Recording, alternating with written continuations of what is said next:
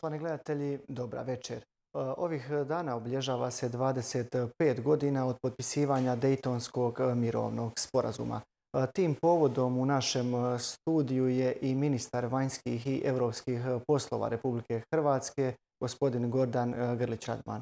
Ministre, dobra večer i dobrodošli u naš studiju Most.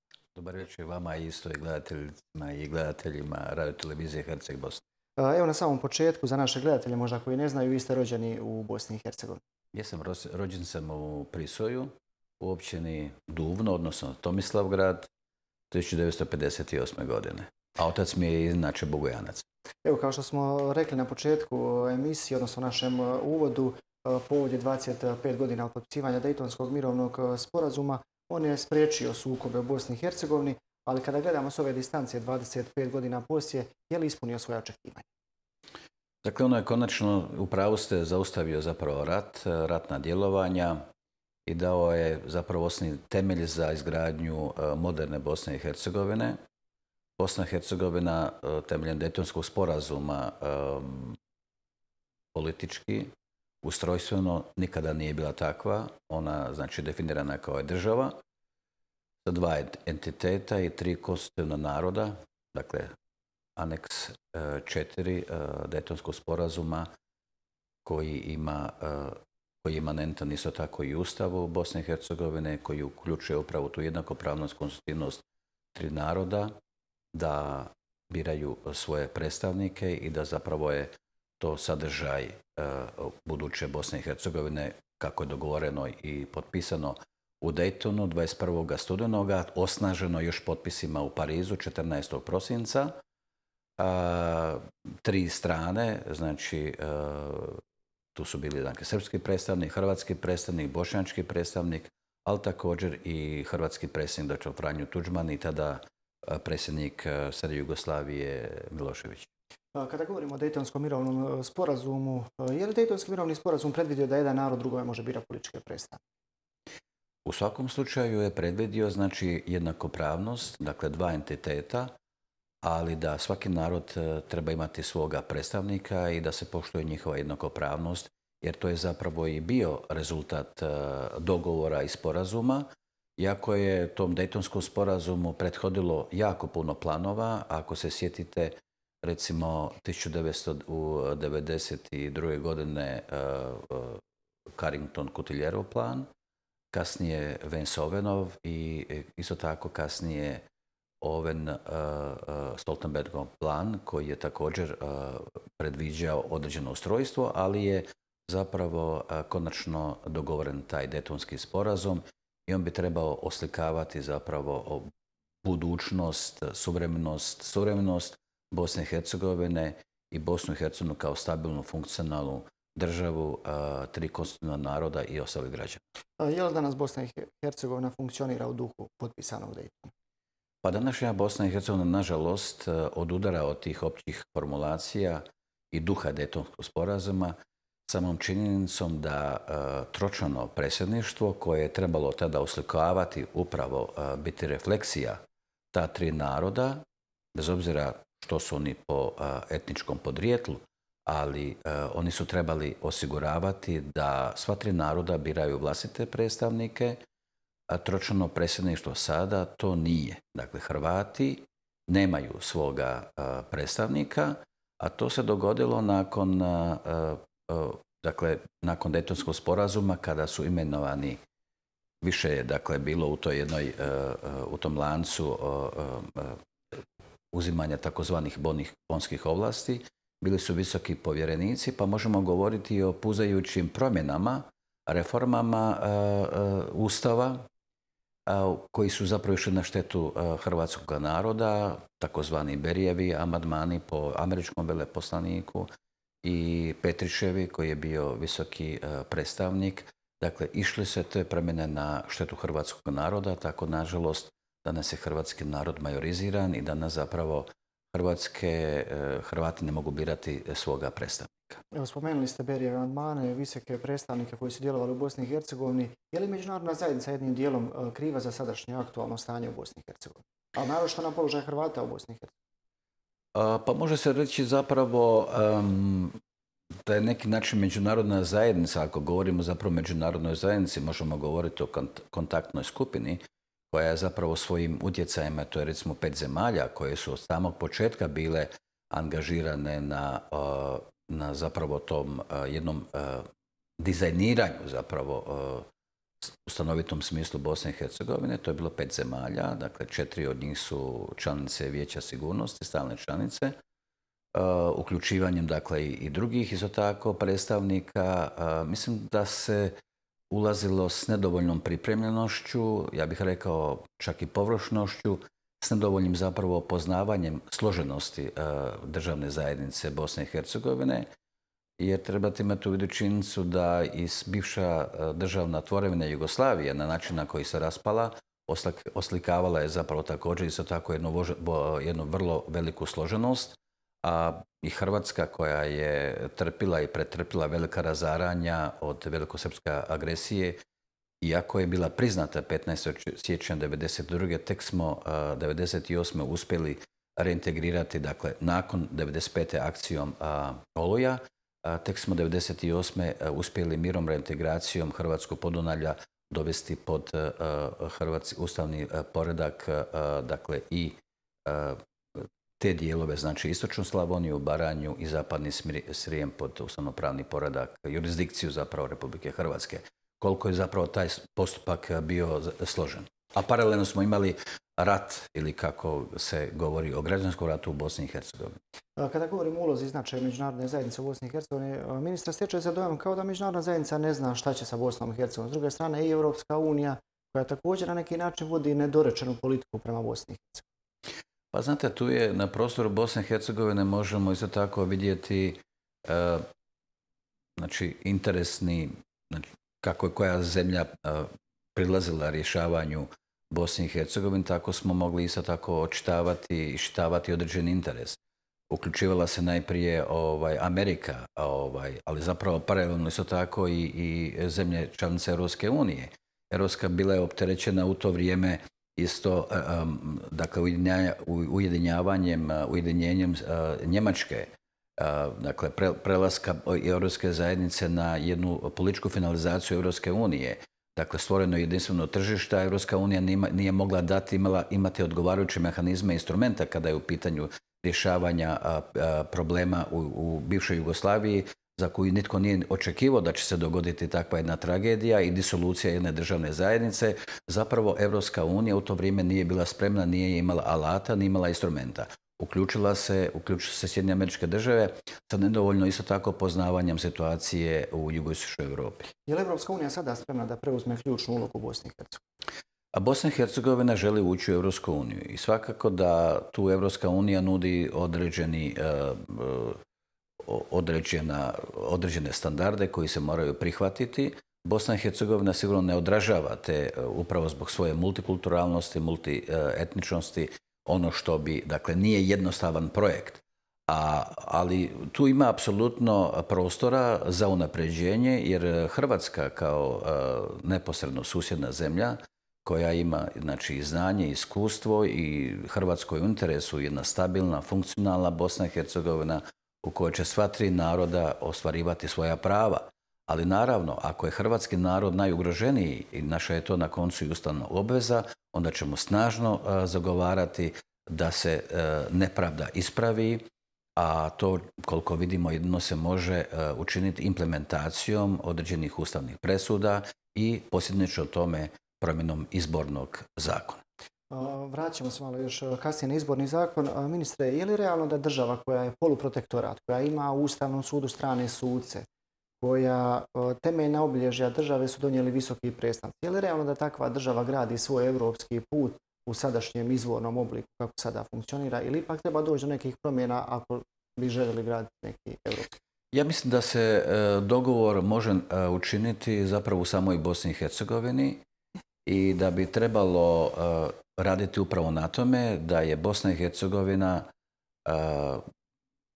država koja ima svoje političke lidere, predstavnike naroda i mislim da je tu postoji prostor za dogovor i to bi bilo zapravo najprirodnije rješenje kada bi pitanje Bosne i Hercegovine bilo riješeno upravo u dijalogu, u razgovoru svih političkih predstavnika i koliko vidim tu postoji prostora, na tom planu će Hrvatska dati svoja iskustva. Mi želimo pridonijeti upravo jednom dijalogu da sve ti strane postignu odgovarajući dogovor i da su zapravo sve ti strane zadovoljne jednim takvim dogovorom. Jer ne može biti, znate, netko uživati više prava od jednog ili drugoga, niti netko može biti ostvarivati zapravo dakle manja prava. Prema tome, svi trebaju uživati, e, e, dakle izborni zakon mora omogućavati jednaka prava, individualna prava i prava znači naroda, tri konstitutivna naroda da biraju vlastite predstavnike u svim razinama vlasti. To je zapravo duh i, i, neki način slovo Dejtonskog sporazuma na koncu i, i Ustava Bosne i Hercegovine. Kada govorimo o brizi, ajmo reći, Republike Hrvatske za Hrvate u Bosni i Hercegovini, često se jednog dijela Bosne i Hercegovine može čuti kako se Hrvatska miješa unutarnje stvari. Miješa li se Hrvatska unutarnje stvari kada govorite o ravnopravnosti hrvatskog naroda u Bosni? Hrvatska je supotpisnica Dejtonskog sporazuma. Hrvatska je pitana od samoga početka, e, znači e, Hrvatska je pristala na Kutiljerov plan. Hrvatska je pristala zapravo na sve planove i projekte koji su predlagali pregovarači. Prema tome, sama ta činjenica, ako i uzmete recimo Washingtonski sporazum koji je predviđao konfederaciju s federacijom, razumijete, koji nažalost nikada zapravo i nije zaživio, koji je uređivao zapravo čak i posebne odnose koji, koji su ostali papirnata iluzija, govori ide u prilog činjenici zapravo da Hrvatska ima obvezu, ima obvezu a budući da su hrvatski narod e, u Bosni i Hercegovini, koji su tu od pamtivijeka, od stoljeća, o stoljećima žive na ovim prostorima i da je Hrvatskoj ustavno obveza brinuti i skrbiti za hrvatski narod, Hrvatska se ne miješa sigurno u unutarnju politiku, ali Hrvatska brine e, da se prepozna potreba, e, odnosno da se kao jamac dakle njihove opstojnosti. Dakle, Hrvatska tu se pojavljuje kao jamac opstojnosti, ali ne netko tko se miješa u unutarnju politiku. Jer Hrvati nikada ne kažu da se Hrvatska miješa u politiku. Upravo Hrvati u Bosni i Hercegovini pozivaju Hrvatsku da se jače e, angažira. Možda nekome smeta upravo pošto vi i gospodin premijer Plenković dobro artikulirate interese Hrvata i na međunarodnoj sceni u Briselu, u Europskom parlamentu, gdje se možda malo manje zna šta se sve događa ovdje u Bosni i Hercegovini. Pa to, vam, to je logično, znate, ovaj, ako Hrvati u Bosni i Hercegovini nisu zadovoljni i zato traže potporu Republike Hrvatske, onda je sasvim naravno i prirodno da ćemo mi njihov glas pronositi kao članica Europske unije, isto tako u određenim, na određenim formatima razgovora, konferencijama, dakle vijećima, sudjelovat ćemo u donošenju zaključaka vijeća kad, koji su zapravo u interesu isto tako za budućnost hrvatskog naroda u Bosni i Hercegovini. Jer mislim bila bi zapravo katastrofa kada zapravo Hrvati koji su najviše pridonijeli potpisivanju i Detonskog sporazuma, koji su zalagali za konstitutivnost, jednakopravnost, koji su od samih početaka bili konstruktivni, suradni, zapravo za bilo koji oblik mira, Čak i Kutiljerov plan koji je davao 12,5% zapravo teritorija Hrvatima unatoč tome što ih je bilo 17%, znači i koji je mogao neki način spriječiti kasnije sukobe. Hrvatska je pristala, prva priznala neovisnost i suverenost Bosne i Hercegovine. Prema tome, sve ono bi bilo zapravo što smo uložili bilo sada paradoksalno kad bi se to zapravo u ovom jednom dobrom mirnom vremenu izgubilo. I e, Bosna i Hercegovina treba imati u vidu činjenicu da je znači dva entiteta, tri konstitutivna naroda. Ako druga dva konstitutivna naroda mogu imati sva e, prava, dakle prava birati, onda mora i treći narod, znači hrvatski narod koji je zapravo najranjiviji jer je najmalobrojniji, znači hrvatskom narodu treba omogućiti ono što je nekada zapravo e, i imao u Dejtonskom sporazumu, u aneksu 4, znači u Ustavu Bosne i Hercegovine, u implementaciji e, presuda Ustavnog suda, ljudskih prava, suda ljudska prava i znači u tom izbornom zakonu koji bi se trebao promijeniti, koji bi trebao biti zapravo adekvatan upravo jednom takvom stanju ravnopravnosti i jednakopravnosti u Bosni i Hercegovini. Vidimo da su tu i predsjednik i premijer unatoč razlikama na unutarnjoj političkoj sceni kada su pitanju Hrvati u Bosni i Hercegovini zauzeli su jedinstven stav što nije baš tako bilo prijašnjih godina. Sjećamo se one trećosječanske, odnosno šestosječanske koalicije premijera Račana i gospodina Mesića nisu baš bili na strani Hrvata u Bosni i Hercegovini kada su njihova prava dokidala. Međutim, sada je nešto drugo, je jedna druga politika iz Zagreba koja nosi neke pozitivne, ajmo reći, vijesti prema Hrvatima u Bosni i Hercegovini. Eto, spomenuli ste zapravo tu 2000. godinu, tadašnja vlada, SDP-ova vlada, koalicijska vlada se odrekla posebnih odnosa ovaj, koji su isto tako bili predviđeni Daytonskim sporazumom. Mogu reći da ova vlada na čelu s Andrejom Plenkovićem je najangažiranija znači, u povijesti svih hrvatskih vlada ako izuzmemo znači razdoblje do, do smrti predsjednika Tuđmana, najingažiranije kada je u pitanju potpora, stvarna potpora uh, Bosni i Hercegovini, ali Bosni i Hercegovini kao državi i naravno Hrvatima u Bosni i Hercegovini jer je u interesu Republike Hrvatske stabilna, funkcionalna Bosna i Hercegovina. To je naš neposredni susjed i mi želimo dakle svim trim narodima zapravo ona prava koja im pripadaju u Dejtonskom sporazumu. I logično je da će se Hrvatska uvijek zalagati e, ako je hrvatski narod ugrožen, što bi trebali znači politički lideri dogovoriti u Bosni i Hercegovini. Hrvatska će davati vlastitu potporu i političku i bilo koju drugu. Vidite da i Hrvatska sudjeluje i u raznim oblicima, u, projektima, u prekograničnoj suradnji kako bi hrvatski narod opstao u Bosni i Hercegovini, a mi smo svjedoci zapravo odlaska napuštanja domova e, Hrvata iz Bosne i Hercegovine jer Bosna i Hercegovina bez Hrvata je nezamisliva kao, kao država. Ministre, kada govorimo o europskom putu Bosne i Hercegovine, od bošnjačkih političkih predstavnika u Bosni i Hercegovini se može čuti kako se Evropska unija, kako Evropska unija od Bosne i Hercegovine traži građanski koncept. Je li to točna teza da Evropska unija od Bosne i Hercegovine traži građanski koncept, a znamo šta bi on značio, pogotovo za Hrvate u Bosni i Hercegovini? Pa Bosna i Hercegovina je upravo ono što sam rekao na početku, ona je složena država, od tri naroda i sigurno da ona ne, oslikava jedan e, monoetnički zapravo model neke države. Ali upravo zbog činjenice da je Detonski sporazum zaustavio rat i da postoji znači dogovor o konstitutivnosti triju naroda bi trebala zapravo Europska unija to prepoznati kao e, jedan, jednu specifičnost i dakle svi, svi, sva tri naroda i jesu građani Bosne i Hercegovine, ali se njima treba omogućiti e, znači e, e, njihov identitet poštovati, konstitutivnost, dakle oni su, ta tri naroda su konstitutivna. Mi ne možemo sada umjetno stvoriti neke modele koji će zapravo dokinuti konstitutivnost i koji, u kojima će se izgubiti ti identiteti. A to sigurno ne može ići na štetu hrvatskog naroda, mislim da bošnjački narod je najveći po broju i to bi vjerojatno možda najviše odgovaralo bošnjacima, ali treba imati upravo u vidu činjenicu da bi to jako našetilo ovaj, Hrvatima u Bosni i Hercegovini, kako god, ali mislim da u europskom, u europskom pravu postoji znači prostora kojim bi se omogućilo znači isto tako ovaj jamčenje individualnog prava, svakog naroda na biranje vlastitog predstavnika, a taj građanski koncept je zapravo koncept koji zapravo uopće nije ni dovoljno dorađen i ne znamo što bi on značio. Ako bi on značio dokidanje konstitutivnosti naroda, mislim da on ne bi bio dobar i da on nije perspektiva za očuvanje jedne stabilne i prosperitetne Bosne i Hercegovine. Spomenuli ste europsko pravo. Postoji li u europskom pravu federalni princip uređenja na kojem funkcionira Belgija kao sjedište europske institucije? Pa vi imate, dakle, imate, vi ćete, tako je, imate recimo isto tako Belgija koja je isto tako složena država, ali imat ćete vi isto tako i pitanje ovaj, Sjeverne Irske, ono uh, Good Friday Agreement koji je 98. godine.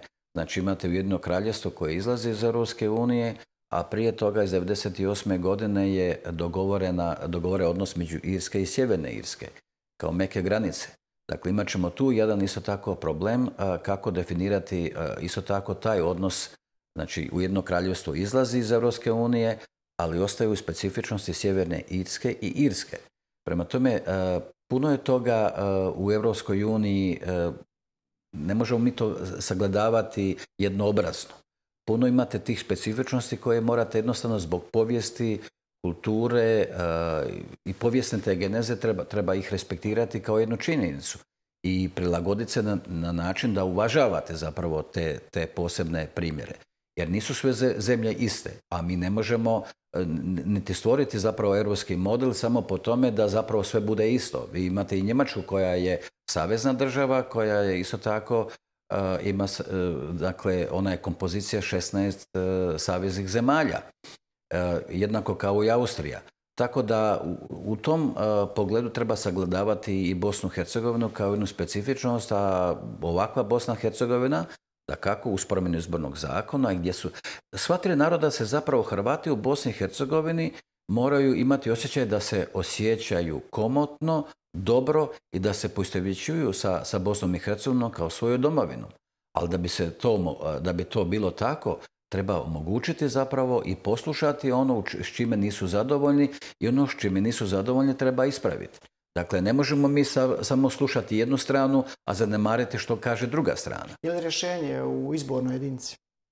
Pa imate, ja sam vam govorio na početku o Berijim amadmanima, gdje ste imali zapravo ono što nije pravedno. Ako imate u jednom kantonu, ne znam, 24, e, dakle, jedan ulazi u Dom naroda, odnosno imate negdje 34 tisuće, kao u Posavini Bosanskoj, ili 40 tisuća, ulazi isto tako jedan. Znači, taj, ta disproporcionalnost, to, to bi trebalo urediti. Mislim. Ne možete, znači nije isto 24 i nije isto 34 tisuće. Znači tu treba doći do određenih promjena koje bi osigurale, omogućile upravo gdje bi zapravo Bosna i Hercegovina bila kroz ta tri etniciteta refleksija isto tako u svojim predstavničkim tijelima. A ono što je sigurno, znači tročano predsjedništvo, bez obzira ono mora, tamo se ne traži, e, dakle, je li netko, kako se netko deklarira od tri člana predsjedništva. Ono što se traži da ta tri člana predsjedništva budu izabrana od tri naroda. Imaju legitimitet i da su legalno izabrani kao predstavnici odnosnog naroda. Srba, Bošnjaka, Hrvata. Što sada nije slučaj. E, na samom smo koncu emisije sigurno bi mogli puno razgovarati ministre o ovim e, temama. E, imali ste sastanak i sa američkom administracijom, tu se pojavljivali različite informacije da se nije razgovaralo o Bosni i Hercegovini. Međutim, neki novinari koji su bili prisutni su rekli kako je veliki dio vremena posvećen upravo Bosni i Hercegovini. Vi ste imali odvojeni sastanak s Maj Pompeom. Jeste li razgovarali o Bosni i Hercegovini? Je li američka administracija upoznata sa kako ne? Pa ja sam mu isto tako predao i određeni papir, dakle naše gledanje e, o položaju Hrvatskog, dakle o Bosni i Hercegovini gdje smo mi išli afirmativno, znači kada je u pitanju Bosna i Hercegovina, ali gdje smo ga isto tako ovaj, e, izvijestili zapravo o jednom e, položaju hrvatskog naroda u Bosni i Hercegovini koji ne odgovara formulacijama i, i duhu Dejtonskog sporazuma za koji je zapravo američka administracija ima određenu odgovornost jer on je potpisan 1995. Za kraj jedno pitanje, je li za očekivati da će neko od hrvatskih političkih predstavnika u Zagrebu primiti gospodina Komšića? Ne, e, mislim sigurno on nije e, predstavnik Hrvata, prema tome mi ne možemo gledati, mi možemo izraziti poštovanje kao čovjeku, ali gospodin Komčić nije predstavnik Hrvata u tom točnom predsjedništvu, što on zapravo dokazuje svakim danom. on je mogao istina i neki način pokazati i dobrom voljom, ali ako se on je usprotivio ovaj, gradnje Pelješkog mosta i ako zapravo on upravo uvijek, govori protiv Hrvata u Bosni i Hercegovini, nije zabilježen niti jedan posjet nekoj hrvatskoj općini, nekom hrvatskom selu i tako dalje onda mislim o čemu mi možemo govoriti zapravo. To je baš jedna papirnata iluzija zapravo ako imamo ili mrtvo slovo na papiru, ako imate nekoga tko zapravo ne predstavlja hrvatski narod i zapravo nije moralno, mislim, se deklarirati kao, mislim, nije moralno se deklarirati kao predstavnik hrvatskog naroda, što god on je, ali on nije, on nije predstavnik hrvatskog naroda. Gospodin Radman, još vam jednom puno hvala što ste se odazvali našem pozivu, što ste stigli u Mostar, u naše medijske kuće i nadam se da ćete opet doći Rado, hvala lijepa i vama što ste me ugostili.